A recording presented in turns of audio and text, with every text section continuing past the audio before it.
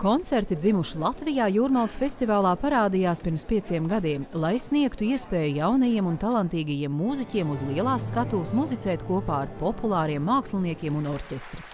Ik gadu koncertā piedalās vairāki jauni mūziķi, kuri apliecina, ka šāda iespēja ir ne tikai pagodinājums, bet arī nozīmīgs posms izaugsmē.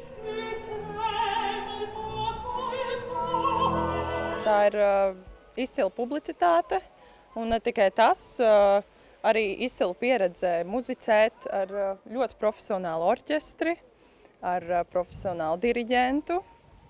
Tā kā es ceru, ka mani uzaicinās arī kaut kur citur. Tas ir ļoti liels pagodinājums tā spēlēt ar orķestri un, nu, kaut arī es vienmēr spēlēju ar orķestri un tad beidzot būt solistei, tas ir pilnīgi pilnīgi cita lieta. Spēlējot ar Vestardu, tomēr es uh, iepazīstos, es uh, dabūnu jaunus kontaktus, es arī varu ieteikt viens otru. Jā, tas noteikti atvers jaunu daudz sadarbību. Koncertprogrammā Lista Mendelsona, Mocerta un Gēšvina opus atskaņoja Vestards Šimkus, Aleksandrs Antoņenko un Ksenija Sidorova, īpaši veidotā Jūrmālas festivāla orķestra pavadījumā. Pie diriģenta pults Ainārs Rubiķis.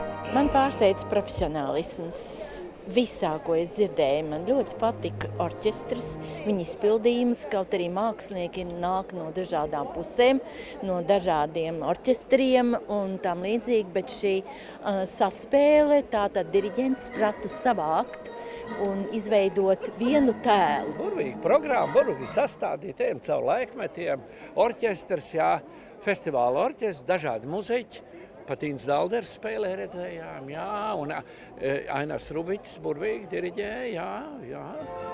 Par vakaru pārsteigumu daudziem izvērtās pianista un komponista Matīsa Žilīnska virtuozā uzstāšanās. Mūziķis ne tikai žilbinoši atskaņoja Džordža Gēšviņa amerikānus Parīzē, bet kopā ar Kseniju Siderovu publikai piedāvāja pašas atcerētas variācijas par Friderika Šopēna valšu tēmu.